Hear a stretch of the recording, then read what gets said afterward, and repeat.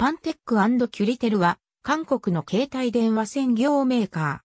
韓国ではサムスン電子、LG エレクトロニクスと並ぶ3大携帯電話メーカーであり、韓国内でのシェアは LG エレクトロニクスと第2位の座を争っていた。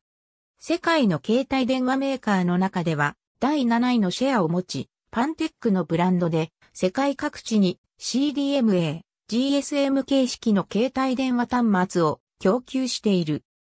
日本での知名度はあまり高くないが、かつて日本市場に参入し、KDDI、沖縄セルラー電話連合にスマートフォンを含む携帯電話端末を2005年冬モデルから2012年冬モデルまで約7年間供給していた。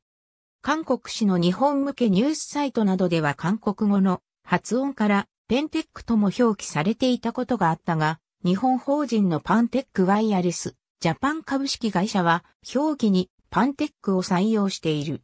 当初よりキュリテルという名称は一切使用しておらず、パンテックが正式社名及び正式名称となる。2014年に事実上の経営破綻をしてからは、製品は発売せず、保有特許をライセンス提供する企業となっている。買収したメーカーのブランドを活かしたセグメント化を行っている。A1405PT2016 年現在、日本で発表及び発売されたパンテックの機種は以下の通り。すべて au 向けである。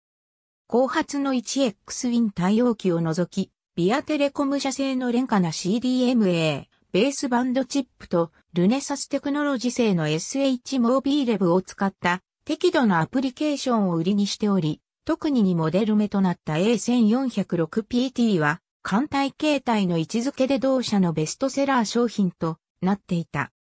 3モデル目の A1407PT は前述の A1406PT をベースに背面に骨伝導スピーカーを搭載しているのが特徴であり、艦隊形態シリーズの1モデルとして幅広いユーザー向けに販売された。au の端末としての位置づけについては、au の主な携帯電話端末の応入メーカーの同社の項を参照されたい。ありがとうございます。